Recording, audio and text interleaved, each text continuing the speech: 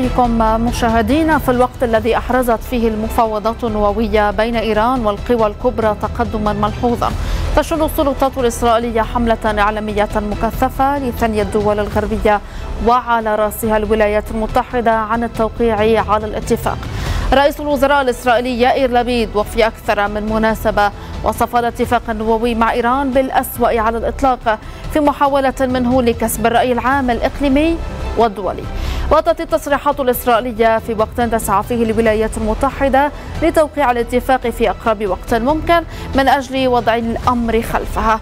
بينما تتطلع إيران إلى تحقيق أكبر عدد ممكن من الإنجازات قبل اتخاذ قرار بشأن التوقيع على الاتفاق الجديد أو الانسحاب كليا.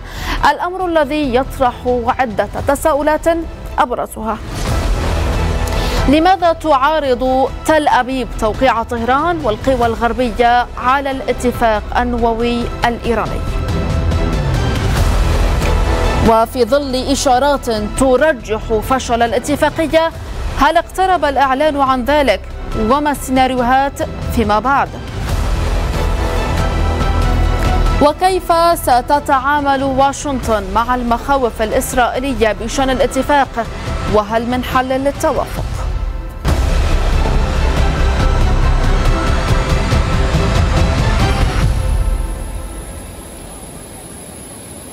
يبدو أن إسرائيل عازمة بكل ما لديها لعرقلة إحياء الاتفاق النووي الإيراني حيث نقل أوفر جندلمان المتحدث باسم رئيس الوزراء الإسرائيلي يائير لبيد عن الأخير قوله إن رئيس الموساد سيسافر يوم الاثنين إلى واشنطن لعقد سلسلة من اللقاءات التي تهدف إلى شرح موقف تل أبيب للإدارة الأمريكية حول المخاطر التي تكمن في الاتفاق النووي مع إيران.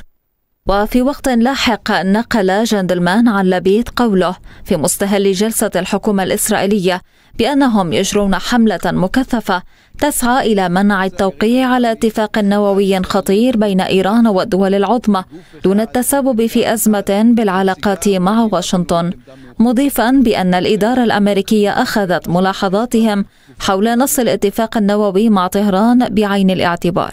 في السياق قال مسؤول إسرائيلي مطلع على المحادثات لصحيفة هارتس الإسرائيلية.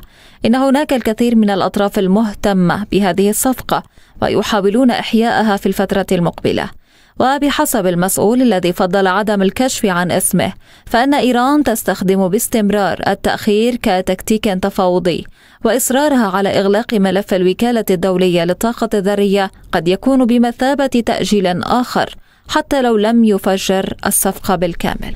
هذا وتسعى الولايات المتحدة لتوقيع الاتفاق في أقرب وقت ممكن من أجل وضع الأمر خلفها بينما تتطلع إيران إلى تحقيق أكبر عدد ممكن من الإنجازات قبل اتخاذ قرار بشأن التوقيع على الاتفاق الجديد أو الانسحاب كليا.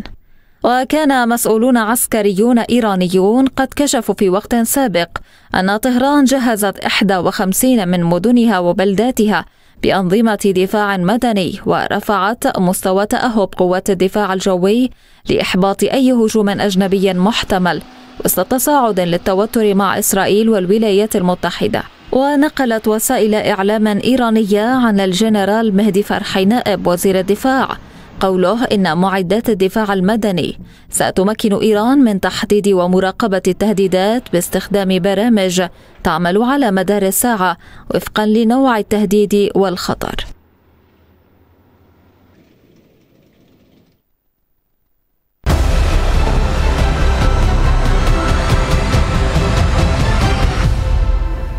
أرحب بضيوفي من رام الله الدكتور خليل أبو كرش الباحث في معهد فلسطين للأمن القومي وأيضا ضيفي من واشنطن السيد طارق جاسم سياسي ومختص في الشأن الإيراني. ضيوفي أهلا بكم وشكرا على قبول الدعوة. بداية دكتور خليل إذا يبدو أن إسرائيل تغتنم الفرصة في هذا الوقت كون الاتفاق النووي نوعا ما. يبدو أنه بعيد كل البعد عن التوقيع في ظل يعني شهدناه هو المطلب الإيراني الجديد الذي من المفترض كان نوعا ما يعني تم الانتهاء منه من جانب إيران. إذا كيف تتوقعون أو ما الذي تتوقعونه لهذا المشهد وهذه المحاولات الإسرائيلية لثني لنقل واشنطن من جهة والدول الغربية من جهة أخرى لعدم التوقيع على الاتفاق وإحيائه من جديد؟ يعني بداية مساء الخير لك ولضيفك الكريم. عزيز أنا بتقديري أن إسرائيل نجحت في السابق في دفع بالولايات المتحدة الأمريكية للانسحاب من الاتفاق النووي مع طهران. وكان هذا الانسحاب في العام 2015 كان له تداعياته وكان له ظروفه الدولية. الآن يبدو أن المشهد تغير ويبدو أن كل الظروف الدولية تغيرت ويبدو أن هناك مشهدا دوليا جديدا. هذا المشهد الدولي الجديد يفرض على كل الشركاء ويفرض على الإقليم ويفرض على العالم لربما حالة من التوافق ما بين طهران وما بين واشنطن والقوى الأوروبية.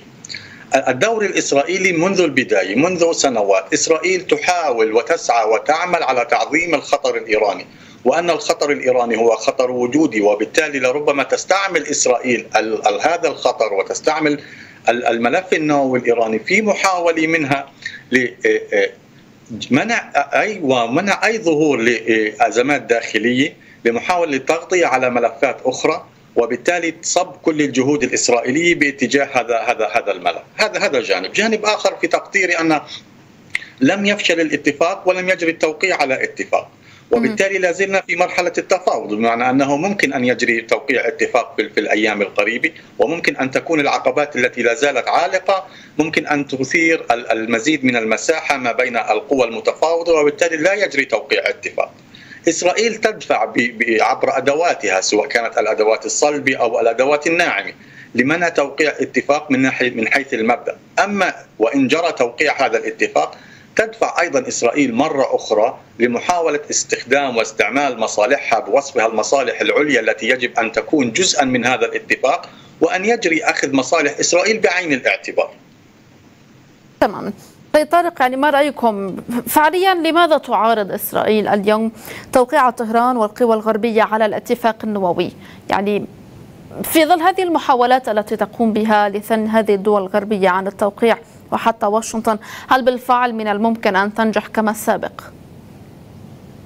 نعم بداية تحياتي لكم ولمشاهديكم ولضيفكم الكريم أهلا حقيقة أنا أتفق مع ضيفكم في النقطة التي تتعلق بأن إسرائيل ما زالت تحاول أن تركز على الخطر الذي يكمن في برنامج ايران النووي وهي وصولها إلى القنبلة النووية. لأن تعرف مدى خطورة وصول نظام يعني داعم للإرهاب ونظام خطير في المنطقة إلى القنبلة النووية، لذلك كل الحكومات التي كانت في الآونة الأخيرة تحكم إسرائيل متفقة على هذه النقطة وحتى بعد ما استغال بنيت نفتالي بنيت ركزوا على نقطة يعني الأزمة مع إيران وحاولوا أن يلملموا صفوفهم داخل إسرائيل، البيت الإسرائيلي يلملم نفسه فيما تتعلق بالازمات أو بخطر إيران حقيقة. لذلك اليوم نرى أن حتى الجانب المتشدد في إسرائيل وبنجامين نتنياهو يحاول أن أن يعطي صورة حقيقية لما ترمي إليها السلطات في إيران وهي وصولها إلى القنبلة النووية لا سيما الآن والمتشددين من الأصوليين في إيران الذين دائما ما كانوا يهددوا ودائما ما يستخدموا كل الوسائل المتاحة لهم من قبل الإعلام المتمثل بجريدة كيهان ورئيسها شريعتمداري الذي هو صوت الحرس الثوري داخل الإعلام الإيراني بأن يجب على النظام الإيراني أن تنسحب من معاهدة إن الآن يعني معاهدة منع الانتشار. النووي ال NPT لذلك آآ آآ وبالتالي النظام الايراني الآن هو في مرحلة مخاض بينه وبين الغرب. فلا الأمريكيين كانوا واضحين في تجاوبهم مع الورقة التي وصلت واللي كانت يعني هي ورقة من صنع الاتحاد الأوروبي حتى تكون وسيلة تفاهم بين إيران والغرب. ولا حتى الإيرانيين كانوا واضحين في هذه الجولة الأخيرة، لذلك أنا أعتقد أن هذه المرحلة هي ستأخذ وقتا طويلا لتصل إلى الانتخابات في أمريكا انتخابات الكونغرس. وأنا أعتقد أن إسرائيل تحاول قدر الإمكان ان أن هذه المراه أن تلملم صفوفها الإعلامية طيب يعني لماذا؟ ما الذي يعنيه يعني نقطة يعني المماطلة في هذه المحادثات للوصول إلى انتخابات الكونغرس سيد طارق يعني لماذا؟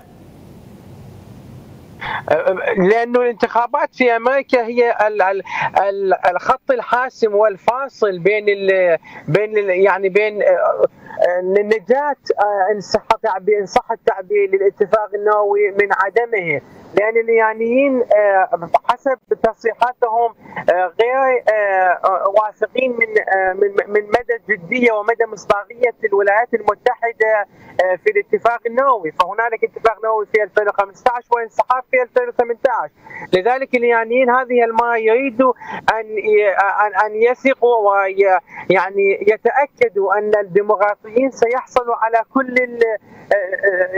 الناحية الدبلوماسية داخل أمريكا من المجلس الشيوخ والكونغرس وما إلى ذلك. حتى تكون القاعده التي منذ أول جولة بالمفاوضات يتبعونها وهي قاعدة يعني لمس المصداقية وقاعده فحص أي أي أي تيست انه كانوا من من أول يوم منذ أول يوم كانوا يقول الامريكان إنه يجب أن تخلقوا الثقة بيننا وبينكم معلومه فهذه الناحية مهمة جدا جدا بالنسبة لي. أن يصلوا إلى إلى نقطة حقيقية. لا لن ينسحبوا من اتفاق اللي عقده يعني.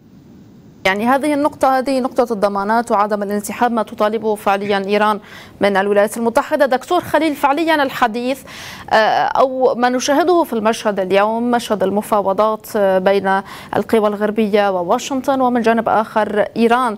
يعني هناك اتهامات من جانب الطرفين في المماطلة في عدم توقيع الاتفاق وما إلى ذلك. يعني اليوم ما نشاهده في المشهد هو السعي من جانب الولايات المتحدة إن كان وحتى الدول الغربية الاتحاد الأوروبي لتوقيع الاتفاق يعني بشتى الوسائل ولكن من يماطل فعليا هو إيران والمطالب الجديدة في كل مرة التي نشاهدها تقوم بتقديمها في كل في كل مرة تنعقد فيه هذه المفاوضات، يعني لماذا فعليا؟ هل ترون أيضا بالفعل من يماطل هو إيران؟ يعني أنا بتقديري عزيزتي أن كلا الطرفين يسعى إلى تحقيق أهدافه وبالتالي إيران لا تتفاوض على برنامجها النووي بالدرجة الأولى وعلى قدرتها والسماح لها بامتلاك السلاح النووي. إيران تتفاوض على ضرورة إزالة العقوبات التي فرضت عليها نتيجة هذا المشروع هذا بالدرجة الأولى. القوى الأوروبية والولايات المتحدة تتفاوض وهي تحت وطأة الأزمة الاقتصادية وبالتالي لربما هذا يساعد ويساهم في تقريب وجهات النظر من جانب وضرورة أن تشارك وتتفاعل إيران مع العالم وأن تذهب باتجاه حل والازمه الاقتصادية التي تضرب أوروبا وكلما اقترب الشتاء كلما زادت هذه الأزمة نتيجة التغيرات في المشهد الدولي فيما يتعلق أيضا بإمدادات الغاز والطاقة إلى أوروبا. هذا جانب جانب آخر التجربة الإيرانية هي يعني باعتقادي أن النظام في طهران. هذا النظام يعتقد أن امتلاكه للسلاح النووي بمثابة بطاقة ائتمان، هذه البطاقة هي تضمن لهذا النظام ديمومته اذا يعني التصريحات الايرانيه عذرا دكتور خليل المقاطعة التصريحات الإيرانية بأن تخصيب اليورانيوم وزياده هذه هي لأغراض طبية كما تقول يعني إيران. اذا ذلك ليس نوعا ما صحيحا. اذا نشهد أو نذهب بالتالي التصريحات الأمريكية والإسرائيلية بأن بالفعل إيران تسعى لامتلاك سلاح نووي. يعني يبدو هذا هذا لا يقبل الشك بمعنى أن القدرة الايرانيه والجهد الإيراني يذهب باتجاه امتلاك السلاح النووي وامتلاك السلاح النووي لم يعد سلاحا هجوميا بمعنى أن هذا السلاح هو سلاح ردع وكل القوى الدولية وكل القوى التي تمتلك مثل هذا السلاح تدرك أن هذا السلاح لم يعد سلاحا للهجوم بمقدار ما هو سلاح للردع. الجانب الآخر امتلاك مثل هذا السلاح هو بطاقة ائتمان لكل نظام أو دولة تمتلكه وبالتالي ديمومة واستمرار وحفاظ على بقاء النظام. أيضا جانب آخر عزيزتي وهذا جزء من التخوفات الإيرانية. الانسحاب التي انسحاب الولايات المتحدة من الاتفاق السابق لربما هذا يدفع طهران إلى التشدد أكثر في شروطها وضمان عدم تكرار ما حدث في العام 2015 الجانب الآخر من هذه القضية هو كيف ترى إسرائيل كل هذا المشهد وكيف تتفاعل إسرائيل مع هذا المشهد؟ أنا باعتقادي أن إسرائيل أمامها سيناريوهين لا يوجد سيناريو ثالث في هذا الموضوع. إما أن تكون إيران دولة نووية وإما أن تبقى إيران دولة تحت العقوبات وتحت الضغط الدولي. في كلا الحالتين النظام الإيراني لا يتوقف عن السعي الدائم والمستمر باتجاه امتلاك السلاح النووي وبالتالي تزاوج إسرائيل ما بين أدواتها الصلبي وما بين أدواتها الناعمه في محاولة لمواجهة هذا البرنامج ومحاولة لكسر آه، قوة ونفوذ إيران في المنطقة. ما تخشى منه إسرائيل أنه في حال امتلاك إيران للسلاح النووي هو أن تتغير أجندة الشرق الأوسط وبالتالي أن تقوم طهران بكل الإيجابيات والمزايا التي ستحصل عليها في حال التوجه إلى هذا الاتفاق من تغيير هذه الأجندة وكلاء إيران في المنطقة سيحصلوا على دفعه معنويه وماليه قويه ستكون بموقع قوة يعني في المنطقة بشكل أكبر. عند, إسرائيل. يعني ستكون بالتالي إيران ان حصلت عليها بموقع قوى في المنطقة بشكل أو بآخر. أه، سيد طارق اذا بالتالي نحن اليوم أمام هذه المفاوضات لكل طرف يعني مطلب معين يبدو نوعا ما خارج إطار هذه المفاوضات التي تتعلق بالاتفاق النووي وأحيائه. بالتالي اذا أه، التفاهم قد يكون بعيدا. فما هي السيناريوهات المتوقعة لهذا المشهد برأيكم؟ يعني هل سيكون هناك اتفاق أم لا؟ والأفضل إن كان للمنطقة وحتى للدول الأوروبية بشكل أو مجمل وحتى لإيران من جانب آخر هو التوقيع على الاتفاق أم البقاء كما هو الحال الآن؟ بكل تأكيد أن آه، الإدارة الأمريكية الحالية هي تبحث عن نوع من الاستغلال في منطقة الشرق الأوسط حتى تتفرغ للأزمة التي الآن موجودة في أوروبا التي خلقت بواسطة روسيا وتفرغها أيضا للأزمة الموجودة بين الصين وتايوان لأنه آه، إيران بالنسبة لأمريكا تعتبر أزمة أو دولة هامشية قياسا بروسيا والصين.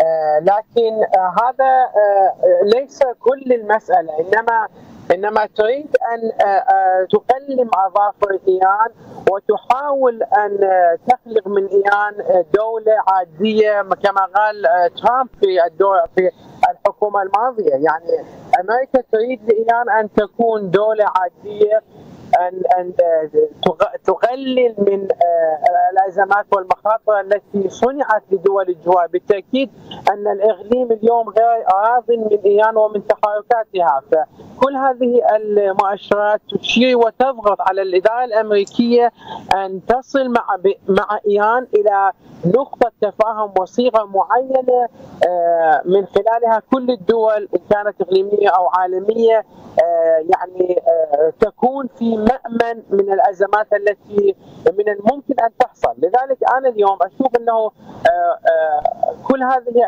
القلق والمخاوف من الجانب الإسرائيلي هو أولا منطقي بالدرجة الأولى.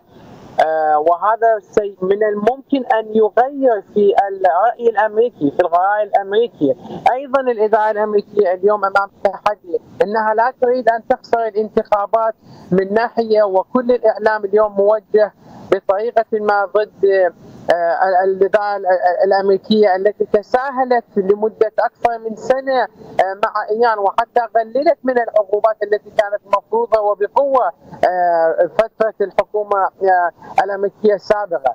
لذلك هذه المفاوضات الآن كما قلت إنها في مخاض ولا أعتقد أن تصل كلا الجانبين إلى اتفاق وإلى تفاهم حقيقي يخلص كل الخلافات والاختلافات ويوصل ويقارب وجهات النظر إلى نقطة بعيدة، اليوم الخبراء في إيران يتكلموا على إنه آه، ليس هنالك تقارب وليس هنالك تفاهم آه، حتى قليل على على كل المؤشرات وعلى كل اوراق الاختلاف بين إيران وبين الولايات المتحدة، لأن المفاوضات هي لم لم تتعلق تحديدا فقط في الجانب النووي أو الجانب التقني من البرنامج النووي. لأن بصراحة اليوم روسيا أعلن عن ثلاث إشكاليات في ثلاث مواقع نووية. وهذا يشير إلى أن البرنامج النووي الإيراني بقدر ما هو خطير هو أيضا له أبعاد يعني من الناحيه التقنيه أيضا وايران لم تتعاون بشكل إيجابي مع وكاله الطاقة الذريه،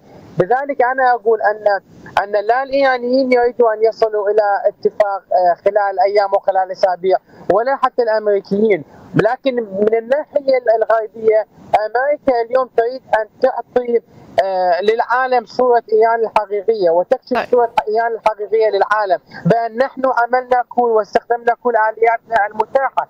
إيران هي التي الآن تتمرد بذلك نرى أن إيران تريد أن تقوي مدافعها وأعلنت عن عن يعني تأهب لأكثر من 51 مدينة. وأعلنت عن صفقة مزمعة مع روسيا لأكثر من 50 طائرة SU 35 وكل هذه المؤشرات هي بالضرورة تعطي نوع من يعني الحالة الخطيره والتصعيد الخطير المتوقع بين إيران وبين إسرائيل والولايات المتحدة. طيب دكتور خليل ما رأيكم يعني بالنقطة الأخيرة التي تفضل بها ضيفي السيد طارق وإمكانية يعني نوعا ما هل ترون بالفعل من الممكن أن نشهد أي حرب بين هؤلاء الأطراف الثلاثة؟ يعني فعليا نحن أمام جهة يعني الاتفاق النووي من جانب آخر هناك الملفات الأخرى في المنطقة بشكل كامل يعني بين إيران وبين إسرائيل. يعني هل من الممكن أن يتجه المشهد إلى حرب قد تكون شاملة إن كان في المنطقة وإن كان بشكل مباشر بين البلدين. يعني بتقديري أن المواجهة الشاملة والحرب هي بعيدة المدى في في الفترة القريبة بمعنى أن الظروف الداخلية في إسرائيل والمشهد السياسي والحزبي الغير مستقر في إسرائيل لا يساعد كثيرا في بناء جبهة وطنية إسرائيلية باتجاه مواجهة مباشرة مع طهران، هذا من جانب، من جانب آخر حتى وإن كان الصوت الإسرائيلي عاليا وإن حاولت إسرائيل مرارا التهديد والوعيد باتجاه إيران وبرنامجها النووي لا يمكن لإسرائيل أن تذهب منفرده إلى هذه المواجهة. وبالتالي الموقف ما بين الولايات المتحدة وإسرائيل يجب أن يكون منسقا بشكل كامل وهذا لربما يبعد شبح الحرب خاصة أن المنطقة يعني متفجرة منطقة لا تحتمل مزيد من المواجهات ولا تحتمل مزيد من من الحروب. أيضا هناك حاجة دولية الآن إلى النفط الإيراني وبالتالي هذا يساعد ويساهم كثيرا لربما في في تقريب وجهات النظر. محاولات كل الأطراف سواء كانت الولايات المتحدة من جانب طهران من جانب محاولاتهم الضغط أكثر على بعضنا البعض وكأننا في محاولة لشد الحبل أكثر ومن يمتلك المهارة البقاء والقدرة على الصمود. أنا بتقديري أن الطرفين سيصلوا في النهاية إلى اتفاق. يريد كلا الطرفين أن يحتفظ باليد العليا في, في مثل هذه الاتفاقات خاصة يعني وأن الوصول إلى اتفاق دكتور خليل الولايات المتحدة تقولون أنكم ترون في ظل انسحاب الولايات المتحدة السابق من الاتفاق النووي تقولون بأنه من الممكن أن يصل الطرفان يعني بشكل أو بآخر لتوقيع اتفاق ولكن من سيكون المستفاد منها فعليا؟ يعني أنا بتقديري كل الإقليم سيكون مستفيد بتقديري أن كل الإقليم سيكون مستفيد من هذا الاتفاق في الفترة القادمة، خاصة أن جوهر الاتفاق تقديري هو يعود إلى دوافع وأسباب اقتصادية بالدرجة الأولى. اليوم روسيا أوقفت كل إمدادات الغاز باتجاه أوروبا وبالتالي نحن بحاجة إلى النفط الإيراني وبحاجة إلى الغاز الإيراني هذا من جانب. منطقة الشرق الأوسط منطقة متفجرة ولا تحتمل مزيد من المواجهات وبالتالي تحاول الولايات المتحدة أن تهدئ من هذه من هذه الأزمة وأن تتفرغ لاحقا إلى رؤيتها الجديدة وإلى توجهاتها الجديدة في فيما يتعلق بالصين وجنوب شرق آسيا. هذا من جانب عزيزتي، أيضا كلا الطرفين يدرك حقيقة أن الخطر لا يكمن في امتلاك إيران للسلاح النووي، أن هذا السلاح لم يعد سلاحا هجوميا، هذا سلاح له تبعيات وبالتالي الخطر يكمن في تبعيات امتلاك الدولي للسلاح النووي.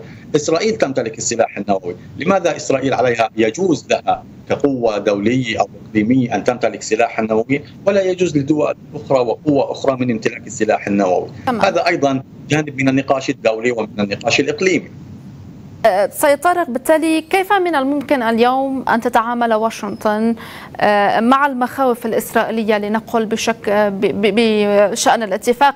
يعني هل من نقطة حل التوافق بين الطرفين؟ يعني إسرائيل منذ سنوات وهي تضرب مواقع عيان داخل سوريا وخلال السنتين العامين الماضيين إسرائيل آه، استطاعت أن تخترق كثير من المواقع النووية الإيرانية ومراكز الأبحاث.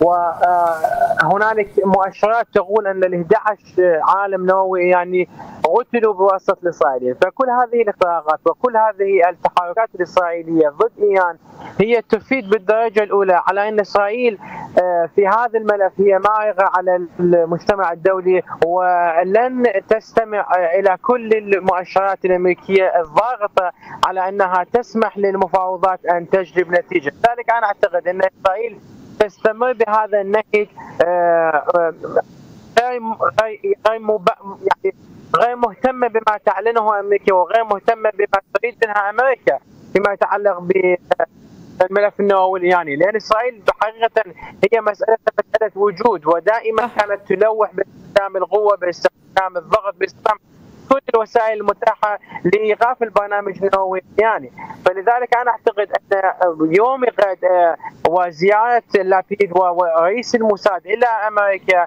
أيضا تحمل رسائل خطيرة ورسائل مبطنة إلى أمريكا بأن لن نكون هذه المرة أيضا آه، سامعين إلى نصائحكم وإلى آه، دبلوماسيتكم. أشكركما. جزيل الشكر على كل ما تفضلتما به في حلقة اليوم. ضيوفي من واشنطن السيد طارق جاسم سياسي ومختص في الشأن الإيراني. وأيضا أشكر ضيفي من رام الله دكتور خليل أبو كرش الباحث في معهد فلسطين للأمن القومي. على كل ما تفضلتم به من تحليلات. في الختام أشكركم مشاهدينا. إلى اللقاء.